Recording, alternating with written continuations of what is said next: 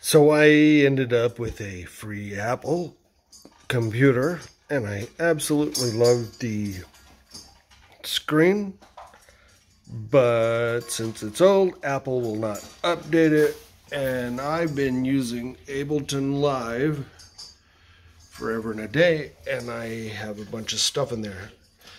Just a side note, you know, this whole thing started, I was wanted to be able to record and I didn't know the difference between a audio interface and a digital audio workstation. I'm sure there are going to be people who want to correct me in my terminologies. I'm just a newbie about all of this.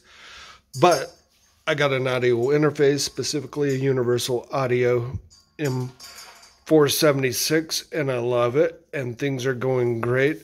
Uh, but I got tired of Apple wouldn't even let me run the most recent version of Ableton. I have so much stuff in here and I can't update my Apple operating system. I think I'm like 10 dot something and everything, every other piece of software runs on something that's more recent than that and Apple won't, you know, relent. And so long story short, I struck upon the idea of Linux and specifically Linux on old Macs and old PCs, and I started playing with Linux Mint and revived a couple of laptops, and it's fantastic, but it doesn't have all the stuff that I needed to convert from uh, Ableton.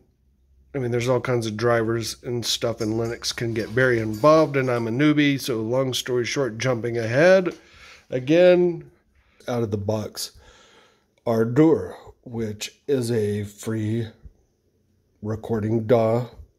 And long story short, after comparing or trying to load Bitwig on here and having zero success, I did load Reaper, imported like WAV files from my Apple machine over to Linux, and just compared the to my naked, uneducated ears the sound quality Reaper versus Ardour and how easy it is to bring stuff into Ardour. I uh, I just can't express to you how happy I've been. It's been a, a beating because I've been transferring WAV files by way of a USB drive.